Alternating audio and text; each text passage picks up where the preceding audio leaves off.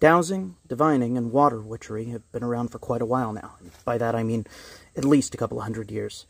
Um, and while there might be, ostensibly, some scientific explanations for it, uh, most instances are no better than placebo. But there are reasons why you might be seeing some results. And that includes fringe theories uh, behind the phenomenon, things like geoelectric gravitic dynamism, which basically comes down to the fact that water, uh, as a fluid, may obstruct some of the energetic fields uh, produced by the Earth's core, and uh, sensitive apparatus, even pieces of metal, may be able to detect such a thing. But in reality, what you're most likely dealing with here is someone smarter than you, um, with very sensitive perceptive faculties, who's paying attention to acute minutiae indic indicative of a water leak, and um, you're probably getting quite a bit of that.